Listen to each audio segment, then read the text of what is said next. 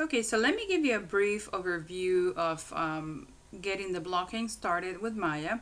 I do recommend that you go through the um, the different links that I posted in the classroom which have projects that are similar to what you guys are doing in the class for for this project but it takes you over several different tools and and different techniques you can learn from uh, especially if you have never seen Maya before uh, I gotta say that the first time I learned Maya I thought you you needed five brains to to understand how to run this software because it has a lot of complex menus and things that you just are hard to understand at the beginning but uh, be confident that the more you use it the more you're gonna get used to the interface okay?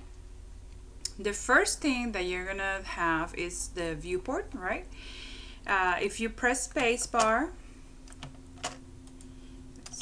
press spacebar there you go um, you're going to notice that you have different viewports here and you have the top, front, side, and perspective.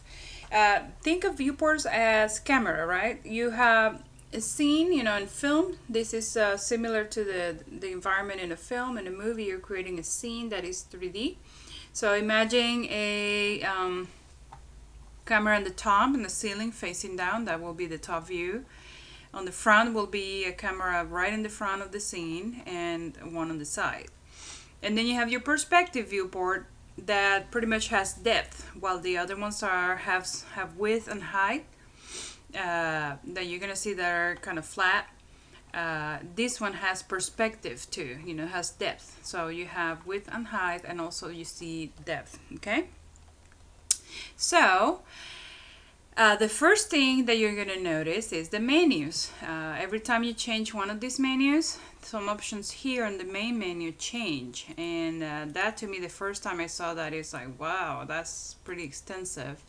And it's not that 3D Max is less, but it's they have, the 3D Max does kind of the same, but it's kind of navigating through the options that you have on the tools. So it kind of uh, uh, arranges it a little bit different than Maya, okay? Maya has, you know, the submenu and then you have the main menu there that changes. So let's go to the modeling menu. That's the one that, that uh, you want to be on when you're modeling. Um, the first thing I would do is suggest to start with polygons while you understand how everything works. And then go over here and create a plane. Okay, and it's already telling you drag on the grid over here. So this is the standard grid. Um, you remember from your uh, algebra classes the the coordinates right? So you have x and y and in this case you also have z on the on the axis. I'm going to um, press spacebar so I'm sorry about that. Spacebar on the perspective view so that you see um, oh, oh no let's leave it like that. And let's go back to creating a, uh, our plane and I'm just gonna click and drag all the way and then release the mouse okay? I'm using the left mouse button okay? And then as you can see the side because it's completely sideways it looks flat because a plane does not have depth. A cube does have depth but not the plane. So that's our floor. Uh, you have then created your your uh, first geometry. That's your ground let's go over here in the attribute editor and uh, you're gonna notice that you have uh, you know different different menus here. You have the options here. Actually we can do it here uh, in the channel box. So let's go on and that default name polygon plane 1 just call it floor okay and press enter. Make make sure that you know how to you know rename the geometry so that then later when you have 20 30 50 100 items on the scene you know what they correspond to okay so you have your floor and let's say that you are going to work on an interior of a scene, um, I would say that to put walls and then to start populating it like we did in um, in 3D Max also, okay? So I'm gonna hold the alternate key down and drag, uh, hold down the left button while moving the mouse. That allows you to kind of move the scene around, okay? So you can do that. Uh, what I'm going to do is create another let me middle mouse doing the same you know uh, holding the, the, the uh, alternate key down and the middle mouse button allows you to move a little bit higher on the scene or the left mouse allows you to change the what you're doing is changing the position of the camera okay? So I'm going to create another plane. So I'm gonna go polygon plane and I'm gonna drag and this is gonna be my wall okay? And uh, the only problem is that the wall is on the floor. So let's rotate it and the rotation the tools are here on the left you're going to be using the move tool a lot which is this one here. You know you can move things up and down sideways or in any of the axes. Notice that when I move the mouse over one of the axes it highlights highlights it in yellow. So that means that it's selected right? So you move only on that axis. But if you select it in the middle then you're going to be moving it in all axes at the, at the same time you know up and sideways so what I want to do is rotate that. So let's go to the rotation tool, this one here that looks like um, like a little circle. And the, the tools change to these circles here and each one represents a handle, okay? So you got the, uh, you see the axis over here on the left of the viewport, you know, the Y, X, Y, and Z. You get those colors here, or you also get on the yellow one outside, you move it on all axes at the same time. In this case, I'm just gonna rotate this way, okay? That way, it looks more like I am putting the wall up, so to say. And I'm using as reference, as visual reference, the this viewport over here, okay? Um, and I'm just gonna put it on the other side since we're on this side right now and move it back and I know, it's a, I know it's a little bit diagonal. I'm using, I'm gonna middle mouse here and zoom out. Middle mouse and use the wheel to zoom out here too. Uh, what I want to do is rotate it so that it looks like um, like it's uh, against this, you know, on this side of the of the grid. Notice that when I move this, the rotate X gets highlighted. So let's see what happens if we put it on 90. That's what I'm going for. Yes, excellent. So I wanted just I wanted it to be just a straight, uh, straight, uh, following the grid and the and the uh, the other side. Notice that now it looks very nice straight over here. Okay, so you can either do it manually or enter the values over here. Okay, so back on that one, let's move it back to, so that is against the wall over there. There you go. And if you notice, it's a little bit right below the the uh, the floor. So let's move it up. Okay. Excellent. And I like to kind of go around. You see there's a little gap and it's probably you know we see it over here. So let's move it up a little bit. And as you see all the other all the other viewports also update as I move that one. You can in the same manner use the scale tool. This one here that looks like a square and then the handles are like little boxes at the end of that little line. So if you do it in the middle if you gra grab the that in the middle you will scale everything up. Or if you grab one of the axes you will scale in one direction. Isn't that nice? That way if you let's say wanted to make the you know this shorter you could scale it down and then you kind of move it down so that so that there's not a gap here okay? So let's make sure the gap is there. If it intersects a little bit like that doesn't matter. That's that's perfectly fine.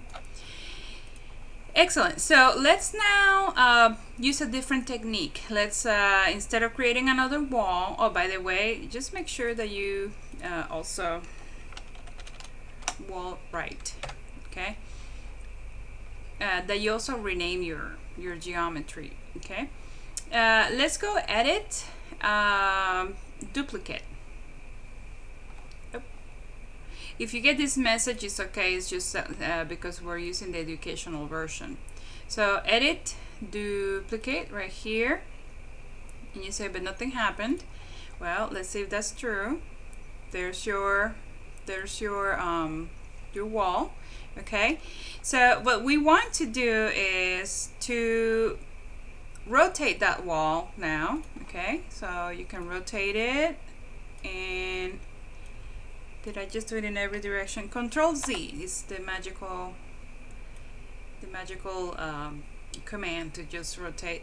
And notice what happens there. Let's put this on 180 and I always look there to see which axis is that I need and then 180 enter and then that makes it perfectly straight that is not tilted and then I go back to the move tool to move it back so that it's in, in this side of the uh, of the floor.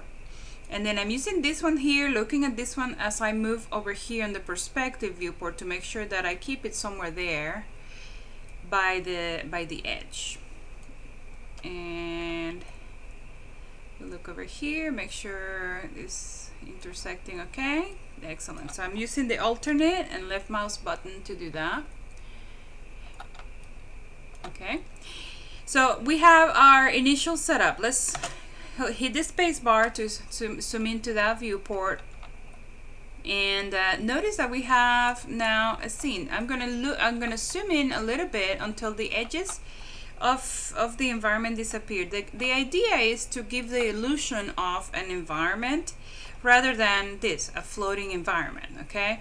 In animation uh, for gaming and film you pretend that there's a room with four walls, but in reality you could have only two walls and never disclose that there's two walls on the other side is missing. The ceiling could be missing also if you use a, a view like this. Uh, if you do move the camera lower, then people might start noticing, oh, there's a gap there, there's no ceiling. And that is done also in, you know, even on TV. Sometimes you see the uh, the actors in what looks to be a house, but in reality is just a set of walls put together really high, and the camera never goes beyond beyond uh, that edge of that back wall. So you never see that there's no ceiling on the set, okay? So you're kind of doing the same by recreating a virtual set. So now from that point on, we just have to start um, including items, right? So let's go to on the polygon menu set there let's click a box and let's say let's make maybe a dresser and drag it up.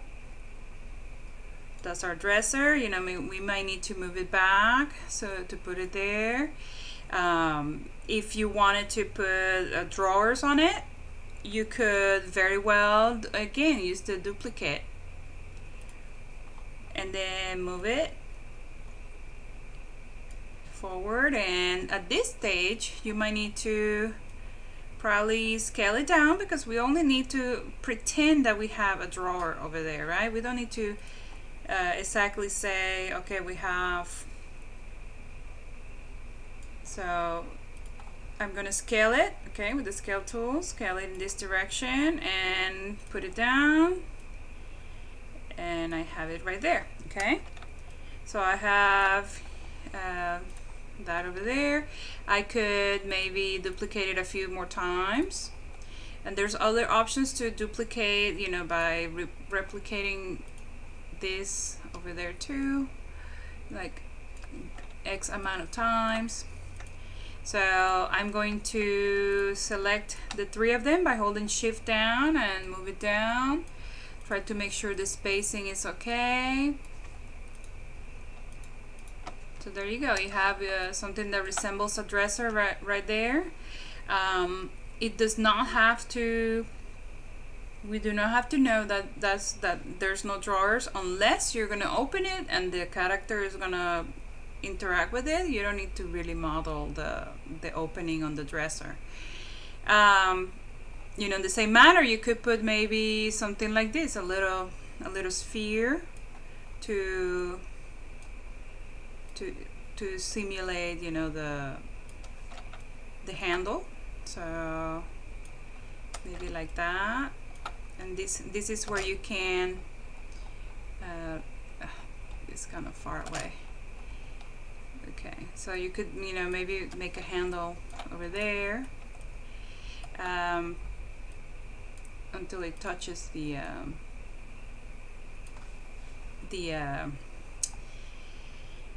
oh my goodness I can think the the drawer okay um, let's see let me take a quick look.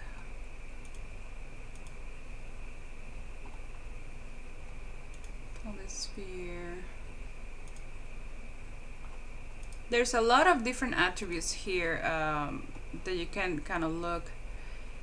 Um, you have also the option of creating a torus, okay? And uh, my mouse is starting to fail. uh, give me just one moment. Okay, sorry about that. Um, you can uh, uh, it, uh, lower the uh, the amount of UVs that you have, uh, may maybe the sections, you know, with you can increase or decrease the radius. Let's go back to that other section here. Poly torus here on the attribute editor. And uh, you can decrease the subdivisions there, you know, maybe do something like that.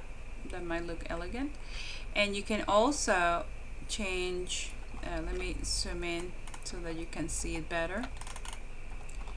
Uh, more or less subdivisions there uh, to keep it lower and higher polygon okay?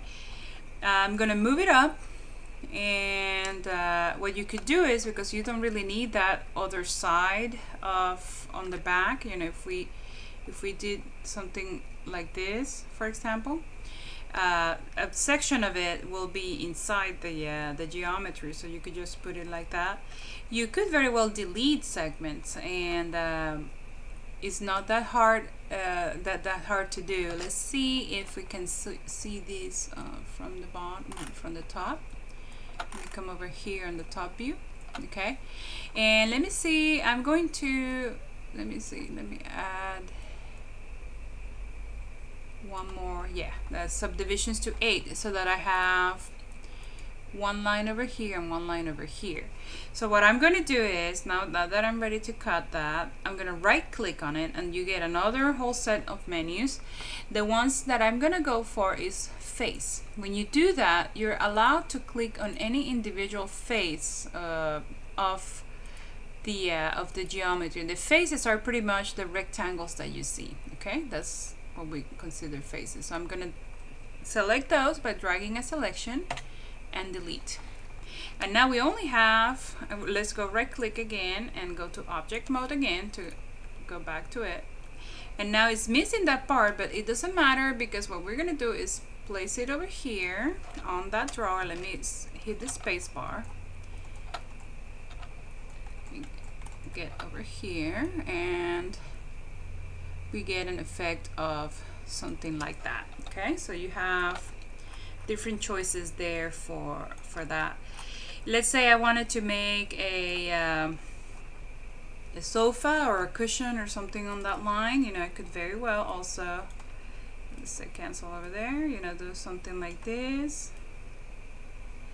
You know and then uh, I have my that will be um, maybe an ottoman or something on that line uh, yeah let's let's make it really we could make it like more like this and uh, maybe duplicate it and and rotate it.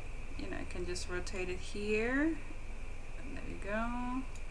Back to the channel box. Let's make sure that this is at 80 degrees. So 90 degrees. It's going to negative so let's go negative 90 okay and that's a simple blocking of a sofa. Um, to learn more about uh, you know extruding tools if you would like to go in that way um, I would suggest that you check those tutorials that I that I posted that um, that will be very helpful get you step by step on more polygon tools that, that are going to help you understand the process a little bit more in depth so there you have, you know, maybe you can put now um, duplicate and, you know, make the cushions that way. So you could maybe make them thinner and come back, you know, just kind of arrange them there. And then kind of fill it up, you know, with more and more cushions, okay? And uh, there you go. You also could make a uh, picture frame, you know, that way. Uh, you could get maybe a cylinder to make a trash can, for example. Okay, you can always increase or decrease this going to the attribute editor. And on the polygon cylinder node, which is the one that gives you all the uh, all the attributes, um, actually not that one. This one the poly cylinder one. Not p cylinder poly cylinder so you go and you know maybe do more or less uh, you get different shapes there. You know you get it like a box over there. So it's up to you. You know you want to do that um, you can do that. You can also duplicate it and edit duplicate and maybe make a picture frame you know by scaling it down. And maybe oval shape picture frame or a mirror. And then let's move it right? Let's put it on the on the wall. And rotate it. And once again I want to look on the channel box here. And as I rotate and this is the way I work um, let's make it 90 degrees. There you go. Now it's 90 degrees. It's against the wall so it's uh, not going to be tilted. And then you kind of move it there and place it wherever you need to okay? So what else could you do? You may you could make uh, uh, a torus right to make it um, you know like a picture frame as well uh, you have a pyramid too. You know just explore the different um, geometries that you have there available to you. And uh, you can get ideas on modifying them to make uh, your primitives. Uh, let's say the trash can, let's say you, this a trash can is one of those electronic ones, you know, you could, I mean, ones that, that not electronic, um, automatic ones that you step on it, you know, you maybe you can make the, uh, you know, the outer ring like this. This could be the base of it, right? and then you kind of want to look around and, and, use the other viewports also which helps to to place everything you know correctly. And maybe it has a, a cylindrical shape so you can duplicate that. So edit duplicate go all the way up and with the scale tool I'm gonna squash it down right in one axis and then in the middle I'm gonna make it a little bit bigger and I'm gonna move it down with the move tool okay? And that could be somehow the um, the lid okay? You could also do um, you know maybe the sphere and then cut the half like I did and then put the pedal here with uh, with the box. You know you can make a little box here. And that could be kind of like the, the you know the part that you step on. I'm holding alternate